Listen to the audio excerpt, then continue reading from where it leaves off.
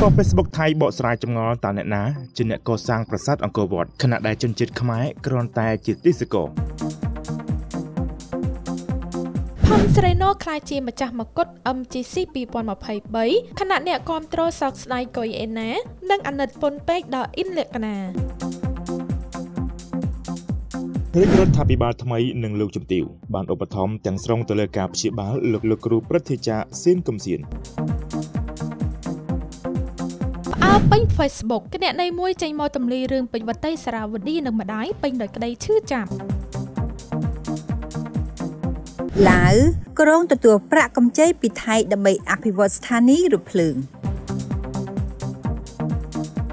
ចិនបង្ហាញមនុស្សយុទ្ធមានលក្ខណៈដូចមនុស្សពិតពិត។ Fan Oster ហោះក្រោយលោកណាវ៉ាត់បង្ហើបថា អង្វានឹងមានការប្រគំតន្ត្រី នៅ ប្រទេសកម្ពុជា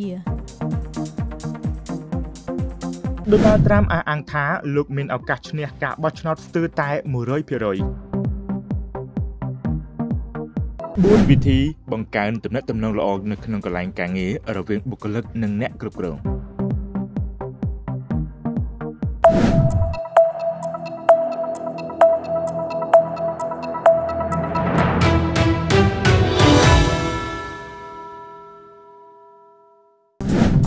ទំព័រ Facebook របស់ថៃដែលមានឈ្មោះថាធូលុងបានចុះផ្សាយទៀតថាមានរឿងទៀតហើយដោយសារអ្នកលេងបណ្ដាញសង្គមម្នាក់នៅក្នុងក្រុម AWCC បានបកស្រាយចម្ងល់ថាតើអ្នកណាជាអ្នកកសាងប្រាសាទអង្គរវត្តហើយអ្នកលេងបណ្ដាញសង្គមរូបនេះនឹងប្រាប់អំពីដើមកំណើតរបស់ខ្មែរថាការពិតតើខ្មែរជាពួកទេសកលមែនឬទេ ទំព័រ Facebook ធូលុងនិយាយថាមានសមាជិកម្នាក់បានសរសេរថាខ្មែរបោកប្រាស់ពិភពលោកហើយខ្មែរមិនមែនជាអ្នកកសាងប្រាសាទអង្គរវត្តពិតប្រាកដនោះទេហើយអ្នកកសាងប្រាសាទអង្គរវត្តពិតប្រាកដគឺព្រះបាទសូរ្យវរ្ម័នទី2ចំណែកបុព្វបុរសរបស់ជនជាតិខ្មែរគឺព្រះបាទសូរ្យវរ្ម័នទី2បានចាប់មកពីព្រៃនៅប្រទេសឥណ្ឌូនេស៊ីនិងវៀតណាមដើម្បីឲ្យពួកគេជិះត្បូងទឹកហើយទេសកលខ្មែរក៏បានគ្រប់គ្រងទឹកដីក្រុងអង្គរដោយសារតែខ្មែរអាចបំផ្លាញអ្នកស្រុកអង្គរនិងព្រះមហាក្សត្របន្ទាប់មកខ្មែរក៏តែងតាំងខ្លួនធ្វើជាស្ដេចពីព្រោះនៅសម័យនោះមានពួកទស្សករជាច្រើនអ្នកបានចូលរួមកម្លាំងគ្នាក្បត់លួចសម្លាប់អ្នកស្រុកអង្គរនិងធ្វើគុតព្រះបាទសូរ្យវរ្ម័នទី2ក្រោយមកពួកទស្សករបានតែងតាំងកូនប្រុសរបស់មេក្រុមទស្សករធ្វើជាព្រះមហាក្សត្រគ្រប់គ្រងទីក្រុងអង្គរ ទំព័រ Facebook ធូលុងបានបន្តទៀតថាសិល្បៈនិងវប្បធម៌ទាំងអស់ពាក់ព័ន្ធទៅនឹងប្រាសាទបុរាណគឺមិនមែនជារបស់កម្ពុជានោះទេប៉ុន្តែគ្រាន់តែជាសិល្បៈនិងវប្បធម៌ដែលព្រះរាជវង្ស Taminathu បានយកចំណេះដឹងមកពីប្រទេសឥណ្ឌាហើយផ្ដល់ចំណេះដឹងនេះតទៅឲ្យស្ដេចចំនួនក្រោយៗទៀតដូចជាព្រះបាទជ័យវរ្ម័នទី7ហើយរឿងរ៉ាវទាំងនេះក៏បានកត់ត្រានៅក្នុងពង្សាវតារកម្ពុជាចំណែកឯភាសាវិញគឺបានអភិវឌ្ឍពីភាសាឥណ្ឌានិងមនដែលជនជាតិទាំងពីរបានរស់នៅទីនេះមុនពេលគេចាប់ជនជាតិខ្មែរមកធ្វើជាទេសកលពីប្រទេសឥណ្ឌូនេស៊ីនិងវៀតណាមហើយខ្មែរមករៀនភាសានៅពេលក្រោយនិងបដូរទៅជាភាសាខ្មែរកាលពីប្រមាណ100ឆ្នាំចុងក្រោយនេះហើយព្រះអាចារ្យរបស់ព្រះបាទអង្គឌួងគឺជាអ្នកកែច្នៃឲ្យមានភាសាខ្មែរទំ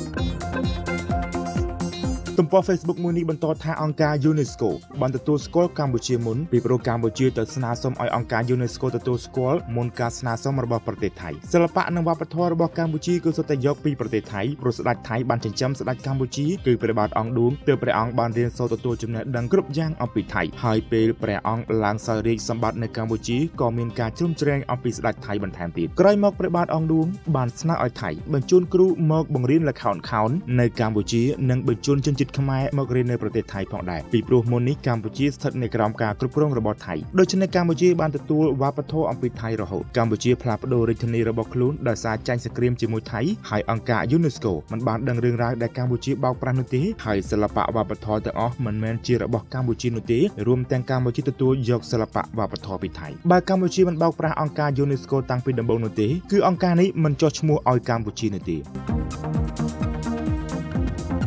ទំព័រ Facebook មួយនេះបន្ថែមថាលើពីនេះកម្ពុជាបានប្រឌិតរឿងកូនខ្មែរមកបោកប្រាស់ពិភពលោកទៀតហើយមានទំនាស់កើតឡើងដោយសារតែកម្ពុជាប្រឌិតរឿងទម្លាក់កំហុសលើថៃខណៈដែលកម្ពុជាព្យាយាមលួចសិល្បៈនិងវប្បធម៌ថៃធ្វើជារបស់ខ្លួនចំណែកឯប្រទេសផ្សេងទៀតមានវប្បធម៌រួមគ្នាប៉ុន្តែពួកគេគ្មានចំនួនជាមួយគ្នាទេដូចជាប្រទេសឥណ្ឌានិងប្រទេសផ្សេងផ្សេងទៀតដែលមានដើមកំណើតសិល្បៈនិងវប្បធម៌ផ្សេងផ្សេងពួកគេមិនដែលចាត់ប្រកាន់ប្រទេសណាមួយជាចោលលួចនោះទេហេតុនេះរឿងគ្រប់យ៉ាងកើតឡើងដោយសារពលករខ្មែរទាំងអស់ដែលចង់បានអ្វីមិនមែនជារបស់ខ្លួនហើយប្រឌិតរឿងឡើងមកទម្លាក់កំហុសទៅលើថៃទាំងអស់បើកម្ពុជាគ្រាន់តែព្យាយាមទម្លាក់កំហុសទៅលើថៃនិងលួចពីថៃច្រើនប៉ុណ្ណាវាកាន់តែធ្វើឲ្យមនុស្សនៅលើពិភពលោកដឹងថារឿងពិតទាំងអស់គឺដូចខាងធូលុងបានលើកឡើងអញ្ចឹង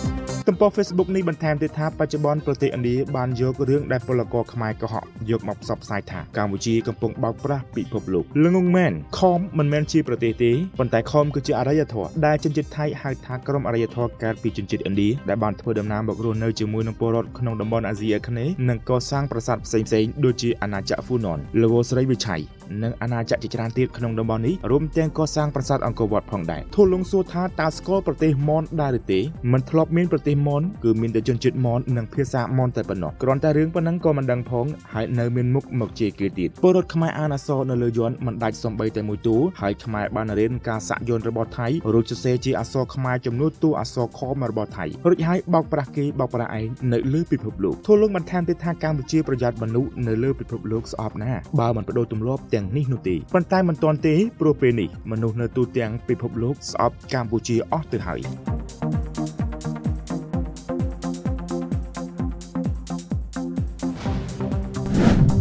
ដោយមហាជនអ្នកស្នេហាវិស័យបវរកញ្ញាជ្រាបមកហើយថាម្ចាស់មកុដ270,000ដុល្លារ Miss Grand Cambodia 2023បានរកឃើញហើយគឺបានទៅលើផឹមស្រីណូ Miss Grand ភ្នំពេញទោះយ៉ាងណាម្ចាស់មកុដឆ្នាំនេះមានទាំងមតិគាំទ្រនិងមិនគាំទ្រខណៈអ្នកមួយចំនួនធំសម្ដែងក្តីសោកស្ដាយដល់រំដាប់រងទី1កុយអេណានិងកាត់ក្តីអាណិតជាពន់ពេកទៅលើរំដាប់រងទី2អ៊ិនលក្ខណា នៅរាត្រីថ្ងៃទី19ខែសីហាគឺជាថ្ងៃដ៏ពិសេសក្នុងការស្វែងរកម្ចាស់មកុដថ្មីនៃកម្មវិធី MGC 2023និងត្រៀមតំណាងប្រទេសកម្ពុជាទៅកាន់ឆាកអន្តរជាតិដោយបានរកឃើញហើយក្នុងនោះមានទាំងការសប្បាយចិត្តជាមួយម្ចាស់ជ័យលាភីនិងការក្តីអារម្មណ៍សោកស្ដាយដែលមិនអាចករណីបានទៅលើបេក្ខនារីដែលមិនអាចទទួលជ័យជំនះ ផឹមស្រីណូជាម្ចាស់មកុដ Miss Grand Cambodia 2023ត្រូវបានមហាជនលើកឡើងថាពិតជាស័ក្តិសមមិនចម្លែកនោះទេព្រោះនៅពេលឆ្លើយសំណួរក្នុងវគ្គ Top 5 Miss Grand ភ្នំពេញចេះបាត់បែនបានយ៉ាងឆាប់រហ័សមានភាពឆ្លាតវៃជឿជាក់លើខ្លួនឯងត្រឹមរយៈពេល1នាទីស្រីណូនិយាយរហូតដល់3ភាសារួមមានភាសាខ្មែរអង់គ្លេសនិងថៃដែលកាន់តែជំរុញឲ្យនាងក្លាយជាម្ចាស់មកុដមិនត្រឹមតែប៉ុណ្ណោះស្រីណូក៏ជាបវរកញ្ញាម្នាក់ដែលមានភាពតស៊ូក្នុងវិស័យនេះដូចគ្នាដោយបានឆ្លងកាត់ការប្រឡង3ដងទើបទទួលបានជ័យជំនះភាពតស៊ូរបស់ស្រីណូលើវិស័យនេះមានដូចជា បានជាប់15អ្នកចុងក្រោយឬ Top 15ក្នុងឆ្នាំ2018និងឆ្នាំ2021បានជាប់10អ្នកចុងក្រោយនៃកម្មវិធី Miss Grand Cambodia ខណៈ2023នេះផុំស្រីណូបានក្លាយជាម្ចាស់មកុដតែម្ដងព្រមទាំងតំណាងប្រទេសកម្ពុជាចូលរួមលើឆាកអន្តរជាតិដែលវៀតណាមធ្វើជាម្ចាស់ផ្ទះ ជាមួយក្តីរីករាយសម្រាប់ម្ចាស់ JTP ឯកក្នុងនោះអ្នកស្នេហាលើវិស័យនេះក៏សម្ដែងអារម្មណ៍សោកស្ដាយយ៉ាងខ្លាំងដូចគ្នាទៅលើរំដាប់រងទី1គឺកុយអេណា Miss Grand ក្រចេះដែលអ្នកគ្រប់គ្រងរបស់បវរកញ្ញារូបនេះមានទំនុកចិត្តយ៉ាងខ្លាំងថារូបនាងនឹងក្លាយជាម្ចាស់មកុដឆ្នាំនេះរីឯសមត្ថភាពរបស់កុយអេណាតាំងពីដើមទីនៅក្នុងកម្មវិធីមកឃើញថានាងមានអ្នកគ្រប់គ្រងច្រើនថែមទាំងសម្រស់វិញមានទម្រង់តាក់ទាញដូចឡាទីនតាមអ្វីដែលវិស័យបវរកញ្ញាត្រូវការ តែគួរឲ្យសោកស្ដាយសម្រាប់កុយអេណានិងអ្នកគ្រប់គ្រងរបស់នាងដែលមិនអាចក្លាយជាម្ចាស់មកុដបានខណៈអ្នកមួយចំនួនបានสนុំពរឲ្យនាងចូលរួមប្រកួតនៅឆ្នាំក្រោយទៀតសូម្បីតែ CEO Miss Grand International លោកណាវ៉ាតក៏បានលើកទឹកចិត្តឲ្យនាងចូលរួមប្រកួតម្ដងទៀតដែរ ទន្ទឹមនឹងមានការសោកស្ដាយដល់កូយេណានោះលំដាប់រងទី2អ៊ិនលក្ខណា Miss Grand Pilot បានធ្វើឲ្យមហាជនអាណិតជាពន់ពេកសម្រាប់លក្ខណាដែលមានភាពតស៊ូយ៉ាងខ្លាំងលើវិស័យនេះប៉ុន្តែមិនអាចគ្រងមកុដឯកបាននិងបានតាមតែជាប់ចំណាត់ថ្នាក់រងលក្ខណាមានភាពតស៊ូខ្លាំងណាស់ដោយនាងធ្លាប់បានចូលរួមប្រកួតដូចជាកម្មវិធី Miss Cambodia ឆ្នាំ2019 Miss World Cambodia 2019និងកម្មវិធី Miss Grand Cambodia 2021យ៉ាង ណាមិញសម្រាប់ផលិតផលដែលមានផុំស្រីណូជាម្ចាស់មកុដកុយអេណារំដាប់រងទី1និងអ៊ិនលក្ខណារំដាប់រងទី2លោកស្រីអឹមសកុនធាអ្នកដឹកនាំក្នុងកម្មវិធីនេះបានសរសេរនៅលើបណ្ដាញសង្គមដែរថាអ្នកមួយចំនួនអាចនឹងមិនពេញចិត្តចំពោះផលិតផលនេះតែលោកស្រីមិនខឹងនឹងអន់ចិត្តឬគេគិតយ៉ាងណាមកលើលោកស្រីឡើយន អ្នកដឹកនាំរូបនេះបញ្ជាក់យ៉ាងច្បាស់លាស់ថាកម្មវិធីត្រូវតែសក្កិតខ្វះតែបន្តិចក៏មិនបានដែរឱកាសមានតែ1នាទីទេហើយបើចង់ឲ្យ idol របស់អ្នកទទួលបានប្រកួតនៅឆ្នាំណាមួយត្រូវតែចេះលើកទឹកចិត្តកុំបង្កបញ្ហាពីព្រោះកម្មវិធីនេះរៀបចំអស់ថវិកាច្រើនណាស់យកបេះដូងនិងក្តីស្រឡាញ់មកធ្វើជូនដល់ជាតិ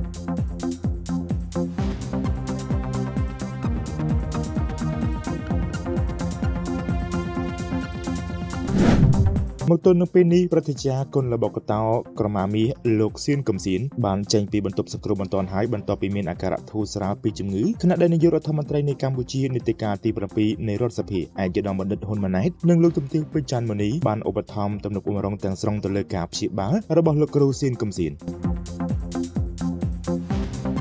នៅលើទំព័រ Facebook របស់ឯកឧត្តមកតេទេសាភិបាលបណ្ឌិតហ៊ុនម៉ាណែតនៅរសៀលថ្ងៃទី19ខែសីហាឆ្នាំ2023នេះបានឲ្យដឹងថាលោកគ្រូប្រតិចាក្បាច់គុនរបស់កតោខ្មែរសៀនកំសៀនបានធ្លាក់ខ្លួនឈឺនិងបញ្ជូនចូលសង្គ្រោះបន្ទាន់នៅមន្ទីរពេទ្យមិត្តភាពកម្ពុជាចិនព្រះកុសមាដែលបានទទួលការយកចិត្តទុកដាក់ដ៏ខ្ពង់ខ្ពស់អំពីសំណាក់ឯកឧត្តមកតេទេសាភិបាលបណ្ឌិតហ៊ុនម៉ាណែតនិងលោកជំទាវបណ្ឌិតពេជ្រច័ន្ទមនីរួមជាមួយនឹងក្រុមគ្រូពេទ្យជំនាញនៅក្នុងការព្យាបាលដែលធ្វើឲ្យស្ថានភាពជំងឺរបស់លោកគ្រូប្រតិចាបានធូរស្រាលនិងចាក់ចេញអំពីបន្ទប់សង្គ្រោះបន្ទាន់ន់ហើយការចំណាយទាំងស្រុងនៅក្នុងការព្យាបាលស្នាក់នៅនិងការហូបចុកគឺបានឧបត្ថម្ភទំនុកបំរុងដោយផ្ទាល់អំពីសំណាក់ឯកឧត្តមកតេទេសាភិបាលបណ្ឌិតហ៊ុនម៉ាណែតនិងលោកជំទាវពេជ្រច័ន្ទមុនី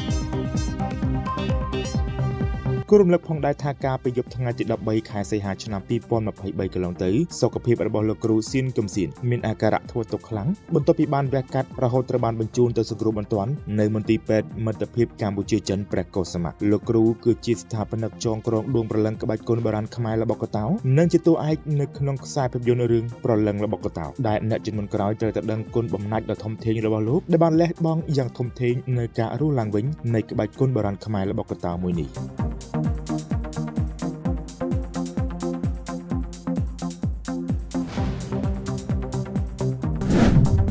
ការភ្ញាក់ផ្អើលយ៉ាងខ្លាំងដោយមានគណនី Facebook មួយឈ្មោះថាអាចសុក្រិតបានបង្ហោះរូបភាពកាលពីក្មេងរបស់ពេជ្រប្រទេសសារ៉ាវឌីនិងម្ដាយដោយឲ្យរូបនាងនិយាយការពិតកុំបង្កជឿចាប់ដល់ម្ដាយដែលកំពុងសង្គ្រោះបន្ទាន់នៅមន្ទីរពេទ្យបន្ថែមពីលើនោះបានលើកឡើងទៀតថាមិនទាន់ល្បីតាក់ទងជាមួយម្ដាយរហូតដល់ពេលល្បីបិទម្ដាយចោលការចេញមុខទម្លាយនេះធ្វើឡើងក្រោយពីរាត្រីលាលែងតំណែងរបស់វតីបាននិយាយពីការតស៊ូរបស់ឪពុកដែលយកមកចិញ្ចឹមតាំងពីនាងអាយុបាន3ខែនិងធ្លាប់បាននិយាយថានាងគ្មានម្ដាយ នៅថ្ងៃទី21ខែសីហានេះមានការភ្ញាក់ផ្អើលយ៉ាងខ្លាំងនៅលើបណ្ដាញសង្គមក្រោយពីមានគណនីមួយឈ្មោះថាអាសុក្រិតចេញមកទម្លាយរឿងពេជ្រវតីនិងម្ដាយរបស់នាងដោយភ្ជាប់រូបភាពកុមារភាពរបស់វតីដោយមានខ្លឹមសារថាអូនស្រីសូមនិយាយឲ្យការពិតនេះទាំងម្ដាយនៅរស់ហើយគាត់កំពុងឈឺធ្ងន់នៅក្នុងមន្ទីរពេទ្យសង្គ្រោះបន្ទាន់ធ្ងន់ទៀតបងប្អូនមិនបានមកមើលម្ដាយទេសូមកុំនិយាយឲ្យម្ដាយមានការឈឺចាប់ស្លាប់ទៅទាំងបិទភ្នែកមិនចិត្តអ្វីដែលប្អូននិយាយខុសពីការពិតទាំងអស់ប្អូនស្រីបកស្រាយឡើងវិញឲ្យបានត្រឹមត្រូវតនម្ដាយរស់នៅ នាគនេះដដែលបានលើកឡើងទៀតថាបងសរសើរប្អូនអត់ទាន់ល្បីតាក់ទងជាមួយម្ដាយរហូតដល់ពេលល្បីបិទម្ដាយចោលម្ដាយអត់ចង់បានអីក្រៅពីសេចក្តីស្រឡាញ់កូននោះទេសូមបកស្រាយឡើងវិញឲ្យម្ដាយស្លាប់ទៅបិទភ្នែកចិត្តផងសាក់សីមានច្រើនណាស់បើសិនជាប្អូនកុំបកស្រាយបែបខុសអញ្ចឹងគេមិនខ្វល់ពីប្អូនឡើយតែសូមឲ្យគុំវ័យប្រហារម្ដាយទាំងម្ដាយកំពុងសង្គ្រោះបន្ទាន់ម្ដាយដែលជាម្ដាយបង្កើតមក DNA ឥឡូវក៏បានដែរស្រីពេជ្រឥឡូវម្ដាយនៅរស់ទេកំពុងនៅក្នុងមន្ទីរពេទ្យក្រោយពីទម្លាយរឿងនេះធ្វើឲ្យមហាជនមានការភ្ញាក់ផ្អើលយ៉ាងខ្លាំងខណៈអ្នកគ្រប់គ្រងបានបញ្ចេញមតិប្រងព្រាតលើរឿងនេះដោយអ្នកខ្លះថារងចាំការបកស្រាយពីសម័យខ្លួនសិនព្រោះរឿងនៅក្នុងគ្រួសារមិនមានអ្នកណាដឹងច្បាស់ក្រៅពីរូបគេផ្ទាល់នោះទេអ្នកខ្លះទៀតក៏បានលើកឡើងដែរថាបើជាការពិតមែននោះពេលបានពោះកុំភ្លេចអ្នកបានផ្ដល់កំណើតឲ្យហើយមិនសមប្រកបទេបើសិនជាភ្លេចអ្នកផ្ដល់កំណើត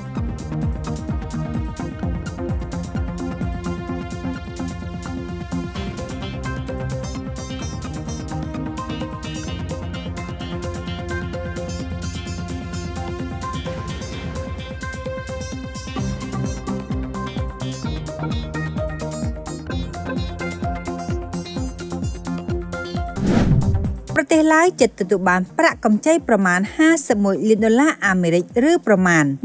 1800លានបាតពីប្រទេសថៃ ដើម្បីអភិវឌ្ឍស្ថានីយ៍រថភ្លើងខំសាវ៉ាត់នៅទីក្រុងវៀងច័ន្ទនៅជិតព្រំដែនឡាវនិងថៃដើម្បីលើកកម្ពស់ការធ្វើពាណិជ្ជកម្មនៅផ្នែកទេសចរឆ្លងកាត់ព្រំដែនរវាងប្រទេសទាំងពីរ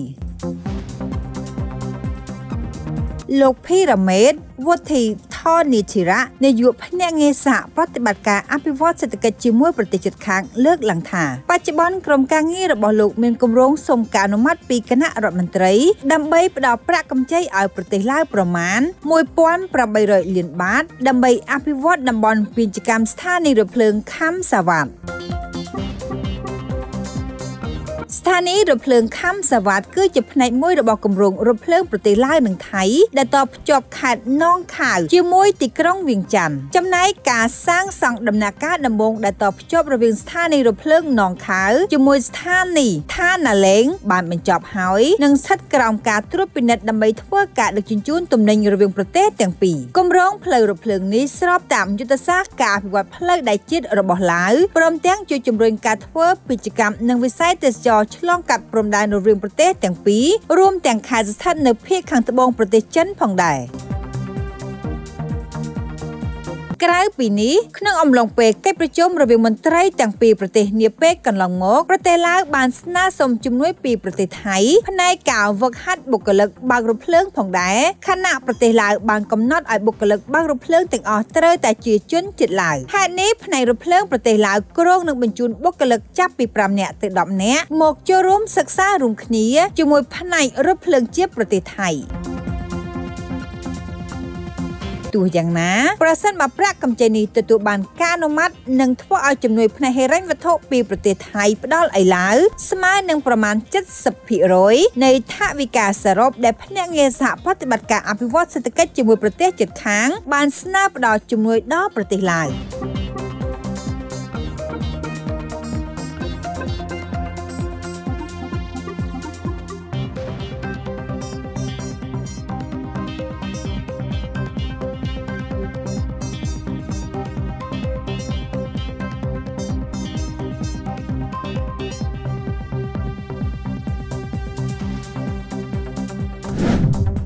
ទេសចិនបានបង្ហាញមនុស្សយន្តប្រភេទផ្សេងផ្សេងគ្នាដែលមានលក្ខណៈដូចមនុស្សពិតៗក្នុងពិធីតាំងបង្ហាញមនុស្សយន្តពិភពលោកនៅទីក្រុងប៉េកាំងបច្ចេកវិទ្យាថ្មីចុងក្រោយនេះបានជួយធ្វើឲ្យមនុស្សយន្តទាំងឡាយអាចបង្ហាញទឹកមុខនិងកាយវិការដូចគ្នាជាមួយមនុស្សកាន់តែខ្លាំង។ និស្សិតស្រីម្នាក់ឈ្មោះលីវមានអាយុ22ឆ្នាំហើយនាងទៅបញ្ចប់ការសិក្សាបាននិយាយថាខ្ញុំភ្ញាក់ផ្អើលខ្លាំងណាស់ដែលបច្ចុប្បន្ននេះមនុស្សយន្តអាចធ្វើចលនាផ្សេងផ្សេងតាមមនុស្សយើងបានគ្រប់បែបយ៉ាងហើយសូម្បីតែការកម្រើកម្រាមដៃនីមួយៗក៏មនុស្សយន្តទាំងនេះអាចធ្វើបានដែរ វិស្វករផ្នែកស្រាវជ្រាវនិងអភិវឌ្ឍរបស់ក្រុមហ៊ុនមនុស្សយន្ត Humanoid X Robot លើកឡើងថាការអភិវឌ្ឍបច្ចេកវិទ្យាលើកចុងក្រោយនេះធ្វើឲ្យចំណុចតភ្ជាប់របស់មនុស្សយន្ត Humanoid អាចធ្វើចលនាបានតាមធម្មជាតិកាន់តែខ្លាំងរួមទាំងការធ្វើចលនាម្រាមដៃនីមួយៗផងដែរ។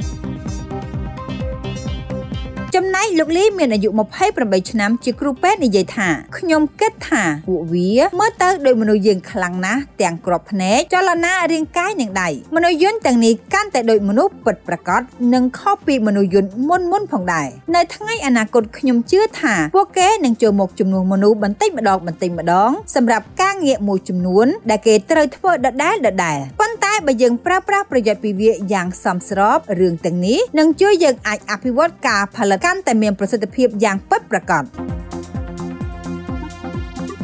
ក្នុងការតាំងបង្ហាញមនុស្សយន្តពិភពលោកប្រចាំឆ្នាំ2023នេះគេបានបង្ហាញមនុស្សយន្តជាច្រើនប្រភេទដូចជាដៃមនុស្សយន្តដំឡើងរថយន្តនិងឆ្កែយន្តដែលរៀបចំឡើងចាប់តាំងពីថ្ងៃទី16ដល់ថ្ងៃទី22ខែសីហានៅទីក្រុងប៉េកាំងប្រទេសចិន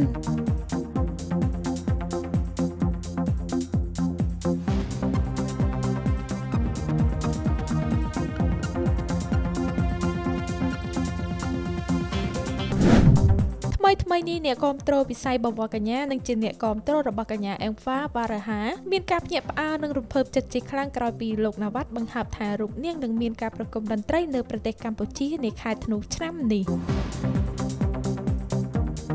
បវរកញ្ញាអេងហ្វាត្រូវបានអ្នកគ្រប់គ្រងកម្ពុជាពេញចិត្តចំពោះរូបនាងយ៉ាងខ្លាំងខណៈរូបនាងនិងកញ្ញាពេជ្រវតីសារ៉ាវឌីមានភាពជិតស្និទ្ធជាមួយគ្នាខ្លាំងតាំងពីប្រកួតនៅលើឆាកអន្តរជាតិជាមួយគ្នាខណៈអេងហ្វាក៏ធ្លាប់មកប្រទេសកម្ពុជាផងដែរ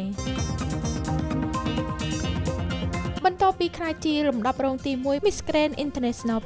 2022ការងាររបស់អង្គហ្វាមានភាពមមាញឹកយ៉ាងខ្លាំងខណៈរូបនេះក៏មានការប្រគំតន្ត្រីផ្ទាល់ខ្លួនការប្លុយឲ្យស្ថាប័នបន្តិចនោះដែរមិនត្រឹមតែមានការប្រគំតន្ត្រីនៅក្នុងប្រទេសថៃតែប៉ុណ្ណោះទេតែអង្គហ្វាក៏មានការប្រគំតន្ត្រីនៅក្រៅប្រទេសដូចគ្នាខណៈថ្មីថ្មីនេះមានដំណឹងថារូបនាងក៏មានការប្រគំតន្ត្រីនៅប្រទេសកម្ពុជាផងដែរនាចុងឆ្នាំនេះ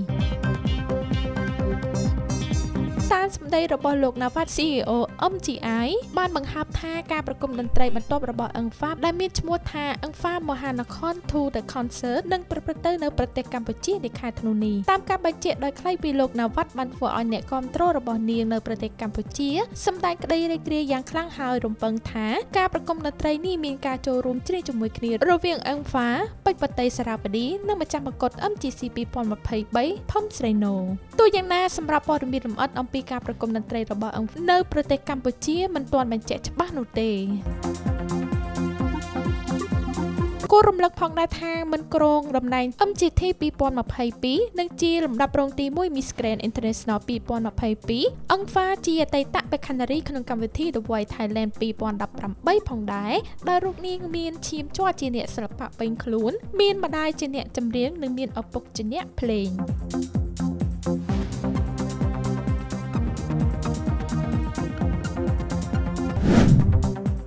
អតីតប្រធានាធិបតីអាមេរិកលោក Donald Trump គិតថាគាត់មានសមត្ថភាពអាចយកឈ្នះគូប្រជែងរបស់គាត់នៅក្នុងឆ្នាំក្រោយនេះដោយនេះគឺជាការថ្លែងនៅក្នុងព្រឹត្តិការណ៍មួយនៃរដ្ឋ Iowa ដោយបេក្ខជនប្រធានាធិបតីនៃគណៈបក្សសាធារណរដ្ឋដ៏មានសក្តានុពលលោក Donald Trump ជឿជាក់ថាគាត់អាចយកឈ្នះលើគូប្រជែងរបស់គាត់ទាំងអស់រួមទាំងអ្នកកាន់តំណែងលោក Joe Biden ក្នុងការបោះឆ្នោតនៅឆ្នាំក្រោយប្រសិនបើគាត់ឈ្នះនៃការតែងតាំងរបស់គណៈបក្ស លោកត្រាំនិយាយថាខ្ញុំមើលឃើញថាខ្លួនខ្ញុំពិតជាមានសមត្ថភាពពេញលេញក្នុងការគ្រប់គ្រងប្រទេសដែលសមត្ថភាពនោះគឺខ្ពស់ជាងលោក Joe Biden នេះបើយោងតាមសារព័ត៌មាន Sunday Times កាលពីថ្ងៃទី13ខែសីហាឆ្នាំ2023កន្លងទៅទិន្នន័យនៃការបោះឆ្នោតបច្ចុប្បន្នបង្ហាញថាលោកត្រាំគឺជាបេក្ខជនទំនងបំផុតនៃខ្លាចទៅជាបេក្ខភាពតំណាងគណៈបកសាធារណរដ្ឋក្នុងការបោះឆ្នោតប្រធានាធិបតីនៅក្នុងឆ្នាំក្រោយប៉ុន្តែមុនពេលការប្រកួតឡើងវិញជាមួយនឹងលោក Biden លោកត្រាំត្រូវតែឈ្នះការតែងតាំងគណៈបករបស់គាត់ជាមុនសិនហើយគាត់នឹងផ្ដួលអភិបាលរដ្ឋ Florida គឺលោក Ron DeSantis លោក DeSantis គឺជាសមាជិកសភាប្រជានិយមធ្លាប់មានចំហនៅក្នុងការបោះឆ្នោតជ្រើសរើសលោក Trump ហើយបានក្លាយទៅជាការពេញនិយមនៅក្នុងរដ្ឋប៉ុន្តែមិនទាន់បានរីករាលដាលអធិបុលរបស់គាត់នៅឡើយនោះទេ ដូច្នេះលោកត្រាំក៏កំពុងតែដោះស្រាយបញ្ហាផ្លូវច្បាប់ដែលត្រូវបានគេរំពឹងថានឹងប៉ះពាល់ដល់ផែនការរបស់គាត់ក្នុងការឆោតឈ្មោះសម្រាប់សេដ្ឋវិមានតែទោះបីជាយ៉ាងណាក៏ដោយតកតងទៅនឹងការអធិប្បាយរបស់លោក Trump អំពីលោក Joe Biden និងលោក DeSantis បានធ្វើឲ្យចៅក្រមរបស់សហរដ្ឋអាមេរិកធ្វើការប្រមានមិនឲ្យលោក Trump ពោលសេចក្តីថ្លែងការណ៍ដែលអាចបំពេញគណៈវិនិច្ឆ័យនៅក្នុងការកាត់ក្តីនាពេលខាងមុខ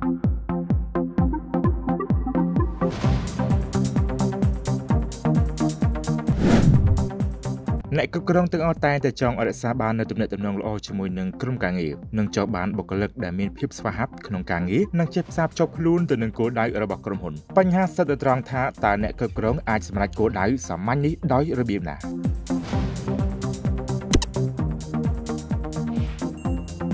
ដូច្នេះហើយខាងក្រោមនេះគឺជាវិធី4យ៉ាងដែលអ្នកគ្រប់គ្រងគ្រប់រូបគួរតែធ្វើវាដើម្បីជួយឲ្យក្រុមការងារមានទំនាក់ទំនងល្អនិងធ្វើការងារដែលជាគោលដៅរបស់ក្រុមហ៊ុន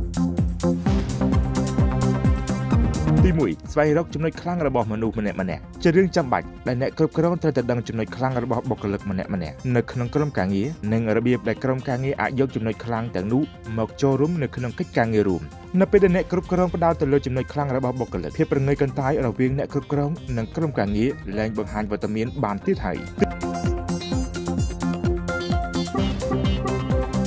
2ពូកែលើកសំណួរបំផុសគំនិតយោងតាមអ្នកជំនាញលើកទឹកចិត្តមនុស្សលោក Tony Robbins ធ្លាប់បាននិយាយថាគុណភាពនៃសំណួររបស់អ្នកគឺជាកត្តាកំណត់គុណភាពនៃទំនាក់ទំនងរបស់វាអ្នកគ្រប់គ្រងទាំងអស់ត្រូវតែចេះលើកសំណួរដែលមានប្រសិទ្ធភាពដែលផ្ដោតទៅលើបញ្ហាសំខាន់ៗនិងធ្វើយ៉ាងណាឲ្យបុគ្គលិកដឹងថាអ្នកគ្រប់គ្រងយកចិត្តទុកដាក់ចំពោះបញ្ហាទាំងនោះ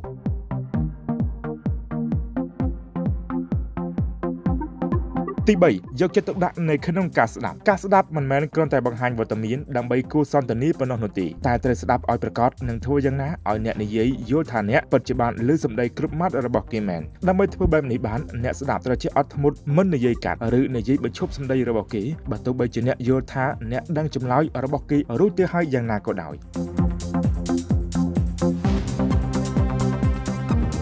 ទី4លើកសរសើរលើស្នាដៃជាជាងការចាប់កំហុសអ្នកគ្រប់គ្រងត្រូវតែយល់ថាមនុស្សម្នាក់ម្នាក់មានលក្ខណៈពិសេសខុសៗគ្នាហើយគេអាចនឹងចង់បានការទទួលស្គាល់ខុសៗគ្នាដែរជាទូទៅអ្នកគ្រប់គ្រងយល់ច្រឡំថាការវិតម្លៃវិជ្ជមានថាជាការទទួលស្គាល់តាមពិតចំណុចទាំងពីរនោះដូចគ្នាស្រឡះការទទួលស្គាល់គឺជាមធ្យោបាយអស្ចារ្យមួយដែលជួយឲ្យអ្នកគ្រប់គ្រងអាចប្រាប់ដោយប្រយោជន៍ទៅកាន់បុគ្គលិកអំពីការយកចិត្តទុកដាក់របស់ខ្លួនចំពោះមនុស្សក្រោមបង្គាប់